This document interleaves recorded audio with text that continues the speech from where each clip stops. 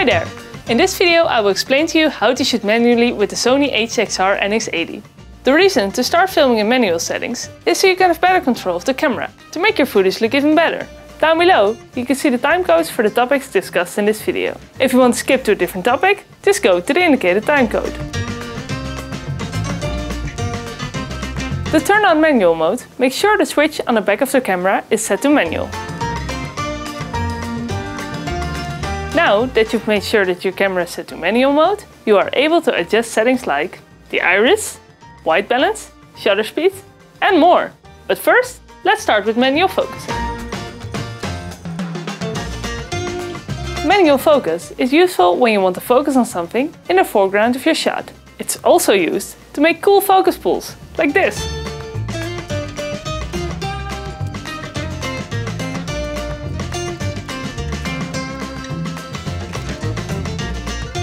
While filming manually, you can be in full control of what's in focus in your shot. To do so, you can use the focus ring on the front of the camera. Make sure the zoom and focus switch on the left side of the camera is set to focus though, otherwise the camera won't focus but zoom in instead. Another button you have to press before shooting in manual focus is the AF-MF1 on the front side of the camera. To check if the switch is flipped to the right setting and the camera is set to manual focus mode, See if the icon with the hand is showing on the display. If you want to go back to autofocus instead, just press the AF-MF button again. There's a very useful option on the camera that will certainly come in handy called peaking. This makes the object that you have in focus red on the display.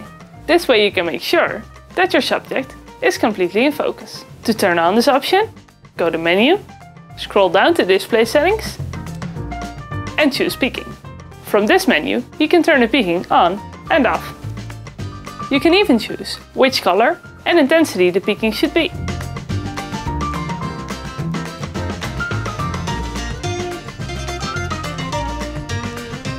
The white balance basically means what the camera sees as the color white. Sometimes the colors of the camera might seem a little off. The footage might look too blue or too orange. When this happens, the white balance isn't set right. The camera sets the white balance automatically, but it's certainly possible to adjust it in the manual settings. To do this, go into the menu, go to camera set and scroll down to WB set.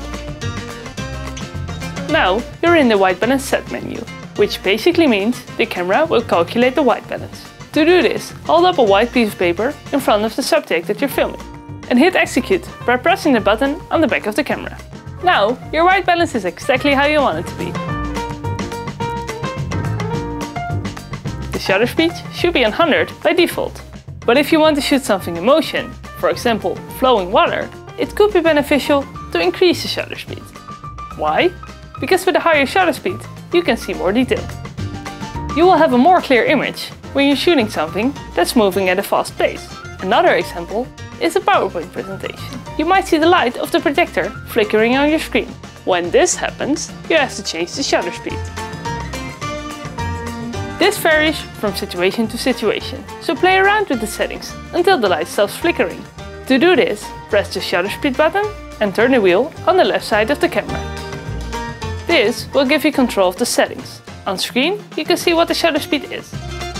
Just keep in mind that a shutter speed of 100 is best, unless you want to shoot something fast-paced or with heavy lighting. You can compare the iris with the pupil in your eye by adjusting the iris, you can control the amount of light entering the camera.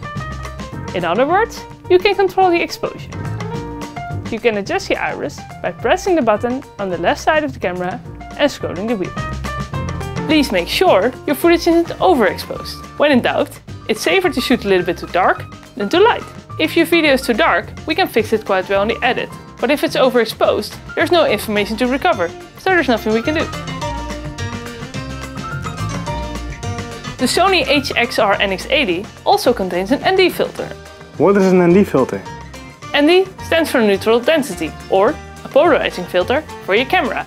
Simply put, the ND filter is a pair of sunglasses for your camera. When filming inside, make sure that the slide on the back of the camera is set to clear. This means that the ND filter is turned off. When it's really sunny outside, you should turn on your ND filter to prevent your shot from being overexposed. That's it. Now you know how you can film in manual settings. Easy as 1, 2, 3. Good luck. Bye bye.